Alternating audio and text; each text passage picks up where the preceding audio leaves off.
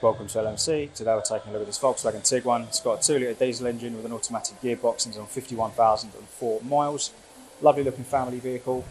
Gloss grey paintwork to it, gloss gunmetal grey wheels as well. Chrome features on the bottom of the doors and around the windows as well as brushed silver roof bars. Parking sensors up front, nice bright front lights and chrome features in the upper grille with a blacked out lower grille. As we come around the side and rear, you've got a slight tint on the glass Lovely looking rear end of the car, big rear lights, rear parking sensors, rear facing camera, and plenty of boot space in the back, again making it a perfect family car. You've got additional storage on either side as well.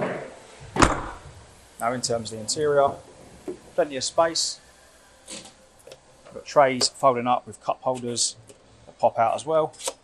Nice touch, especially if you've got kids.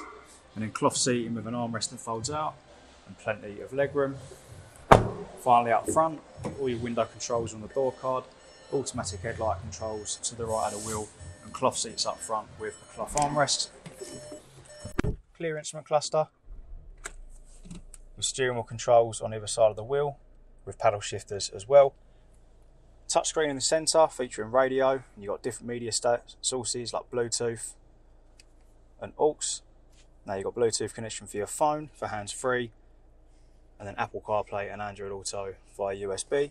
Putting the vehicle into reverse, of course, activates the rear facing camera and sensors.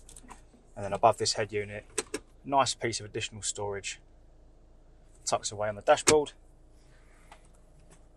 Climate controls beneath this with plenty of storage.